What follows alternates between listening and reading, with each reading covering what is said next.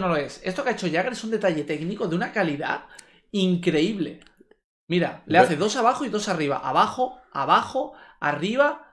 Y uff, sí, no, Otra vez. O sea, bien, este eh. detalle técnico es de una calidad pom, increíble. o sea, esto es de bien, ¿eh? boxeador. Esto de boxeador, boxeador.